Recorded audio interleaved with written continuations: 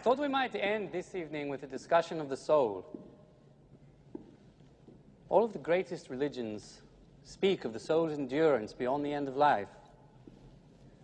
So what then does it mean to me? I was conceived in a cemetery, jumping off of the sixth story. I've been limping around since 6:30. My vision's blurry, my veins are dirty like fuck it dough. Bloody nose got weird lines, and it's hitting harder than bikers doing 120 driving through clotheslines. Yeah, heads Vicodin, I swallow it all. Many men with death on me, really all I need is a drum roll. Like kicking it up, I'm a rage while I'm working it daily. No, really, I do a shit.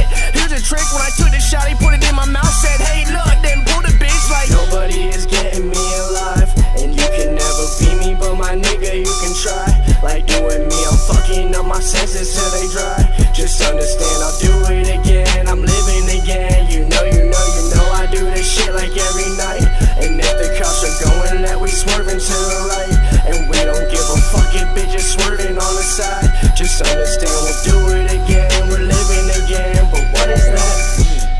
don't know what that means. And I don't know what it's like to die, but I've seen it live, and I seem to be just a little bit too uncomfortable, if you ask me. Practically, almost half of the people I know are either in jail or dead, all fucking up now pending, and that's part of me. Luxury is my little brother, getting everything, and that's riveting. Driving myself in an state of depression, I'm blowing up everything, just in case you fakes are getting too close to me. Hopefully, when the moment be, you can grab a seat while you're witnessing, cause nobody is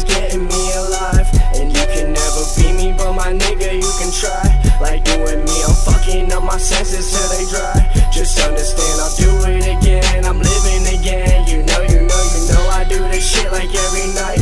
And if the cops are going, that we swerving to the right. And we don't give a fuck swerving on the side. Just understand, we'll do it again. We're living again. But what does that mean to die?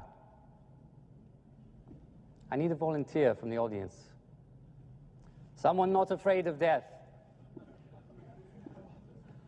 Please. Someone. I assure you, no tragedy will befall you.